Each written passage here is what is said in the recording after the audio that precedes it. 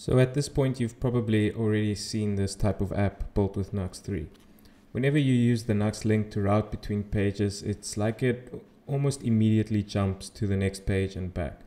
But what if you want a little bit more of an app-like feel, where the page transitions and it just looks a little bit better?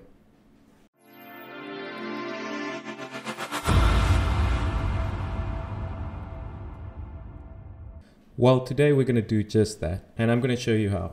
So this page is currently just a normal Nuxt page that has a Nuxt link to a post route.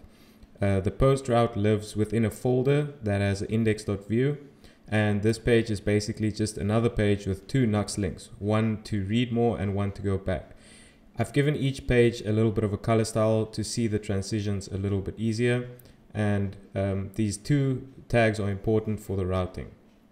On the ID dynamic route, you can see that we have another page with a Nuxt link and this Nuxt link points back to the post page to go back and it's got a purple background.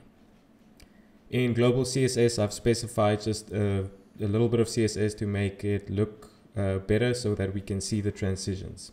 And then we've added Tailwind for some easier styling. So the first thing you want to do is to define an export default of define Nuxt route middleware inside the middleware folder and a file called anything you anythingyouwant.global.ts. And the first thing we'll do is we're going to write a little helper function called getDepth that basically just splits the path and counts the number of segments it has. So slash home and slash home slash about would be a deeper segment and then we check the to routes depth and the from route depth. And then if the page we're going to has a deeper route then that means we have to navigate to the left side. Otherwise we need to navigate to the right side. And the way we specify that is by adding meta to the route with to and from and then giving the page transition a name of page left or page right so before continuing, I just wanted to show you what the next few things are that we'll do in the layout page. So you can see that this is a representation of Vue's transitions. Um, there are two states, which is the enter state and the leave state.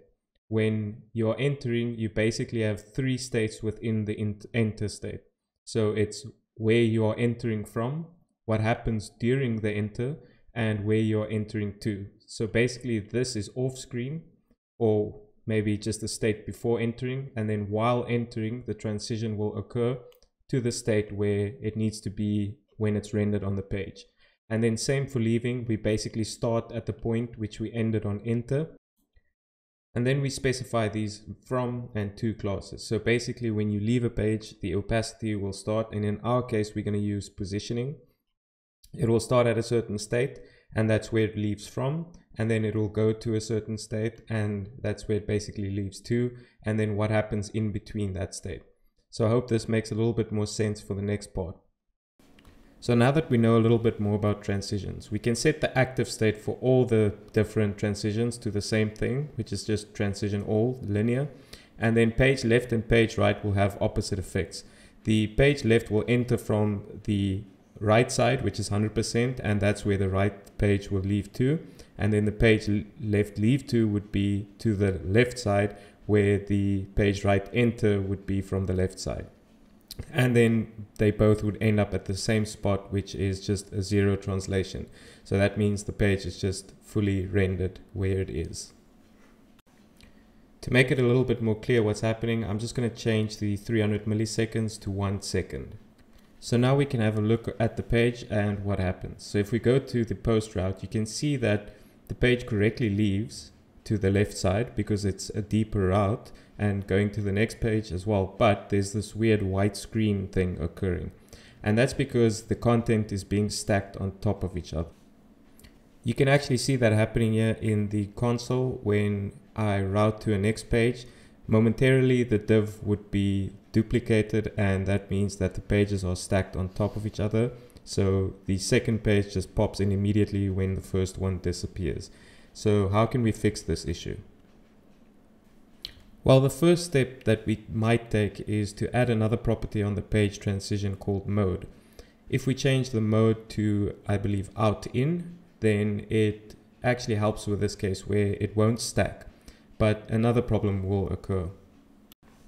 Now that we've changed it, you can see that the transition goes back, but it still has this weird white screen that occurs. And that's because it first waits for the entire first page to disappear and then for the next one to come in. So we might be able to fix that by changing a few properties. But first, let's look at it at uh, real-time speed as we would in an actual app. So you can see that it will cause this strange white flashing screen, um, which doesn't look very uh, interesting or nice. So let's scratch this uh, mode idea for a second and think about something else. Because we, what we really want to see is the two colors staying together and not separated by a white space. And the best way I could find to do this is to go back to the default layout and then within the active states, add a position of fixed and then just add a top of zero and also a right of zero and a left of zero. And what this does is it makes sure that while it's transitioning, the page is actually just static. And let's move it back to one second so we can see what happens. So now that we've added the new positioning, we can actually just go to the next post and you'll see that the colors stay connected, which means the pages are moving in sync. And this is great. Let's look at it in real time. Firstly, let's uh, change the duration back to something like 150 milliseconds and look at it in real time. Now that we've added real time, you'll see that the page transitions look just a little bit better. If I go to the home page and go to the next one, it really has that app type feel where the pages are replaced in a nice little slider. If you enjoyed this video, please leave a like and subscribe and come back for more. See you next time.